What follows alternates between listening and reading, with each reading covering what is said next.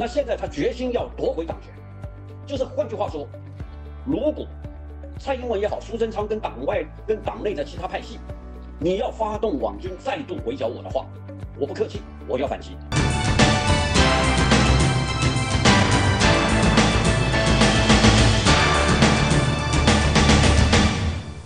各位观众，大家好，我是有话直说的主讲人张友华。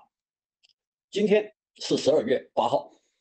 赖清德他染疫的第二天，我在中午时候接到一个很要好的朋友的电话，他说赖清德刚刚跟蔡英文通过电话，他很兴奋的告诉我，赖清德要宣布参选党主席，况且除第一天去领票以外，他还告诉蔡英文，他下定决心参选，希望党内不要阻挡他，就是这一句话。我经过了半个多小时的查证，一点三十三分，赖清德的脸书就公布他参选党主席的消息。这件事情的发展好像是平淡无奇，是大家的预料之中。其实我在十二月四号已经讲，赖清德会参选，况且很快就会宣布。那你尤其是民进党在十二月七号。中常会做出参选党主席办法后，赖清德不顾幕僚的劝阻与民进党大佬的关心，坚持参选党主席。现在尘埃落定，就证明我先前的判断完全正确。赖清德他为什么要在这个时候宣布参选，而不在十二月四号在开官邸汇报的时候宣布？他在官邸汇报已经告知蔡英文，我要参选党主席的意愿。蔡英文不置可否，而后发生了一连串的事件。那这些事件就是透过了绿营媒体说赖清德正在考虑，他考虑的方向是如如何凝聚民进党的士气等等。现在证明都在胡扯。事实上，他在十二月四号就已经下定决心。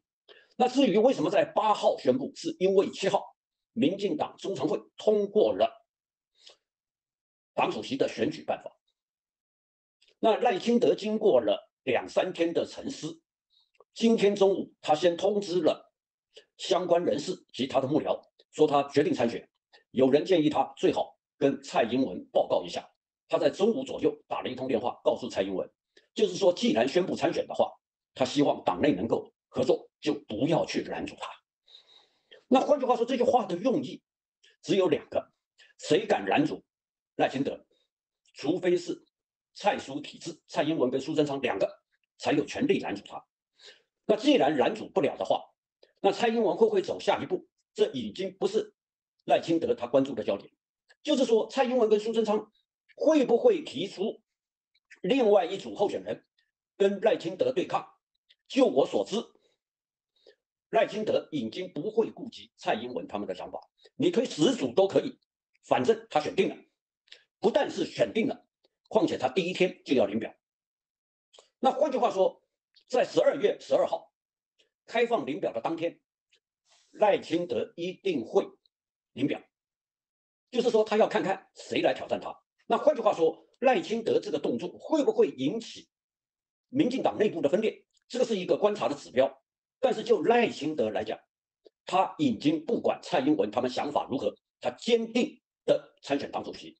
那第二个，我们可以理解到，赖清德在这个时候宣布参选，这是完完全全他要掌握党机器，这个是对二零一九年蔡英文的一个反击，就是说他当年走错了一步，没有参选党主席，让蔡英文指定党主席，结果。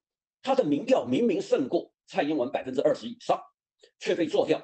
那蔡英文就发动了网军，对于他进行全面性的攻击，使赖清德不幸落败，而区区蔡英文的副手。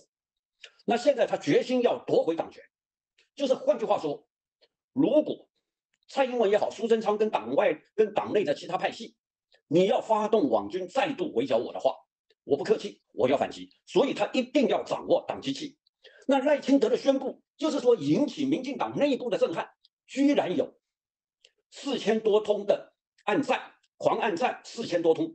那其中有民进党的一级单位主官，像青年部，像民进党的发言人，像民进党的组织部，那甚至于南部各个县市当选的首长，除陈其迈以外，还有包含市议员，还有包含立委等民意代表，狂暗战，在一点三十三分，赖清德在社群网站公布参选消息之后，狂按赞按了四千多通，那四千多通里面。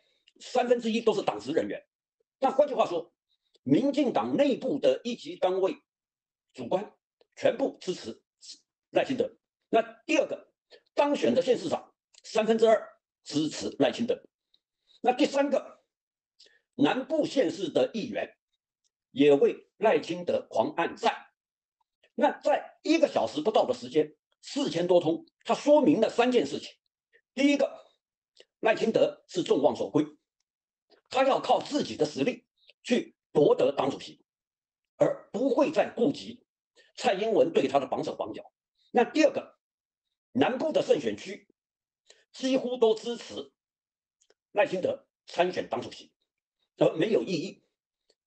因为在这个狂暗战的过程当中，我们发现郑文灿、林佳龙、林佑昌、苏贞昌他们等这一些人已经成为一个民进党参选党主席的边缘人。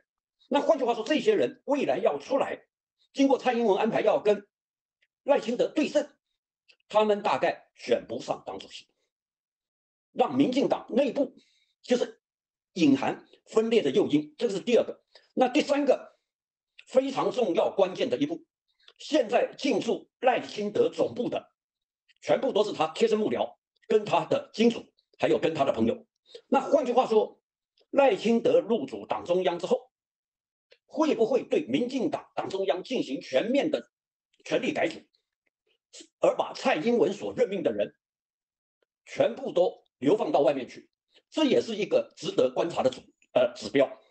所以从今天中午十二点多钟，我接到电话，经过一个小时的查证，已经确定赖清德电话直截了当的已经打给了蔡英文。注意啊，他没有知会苏贞昌，而是由蔡英文去知会其他派系。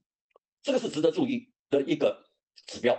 那最重要的，你赖清德他下定决心以后，我就要看绿营媒体，还有民进党的党中央如何看待这件事。那经过一个小时的查证，差不多在一点二十分左右，他们跟我回报，的确跟蔡英文通了电话，他也的确要宣布参选，他也的确要第一个领表。然后你更重要的，不管任何人的挑战，不管蔡英文如何的安排。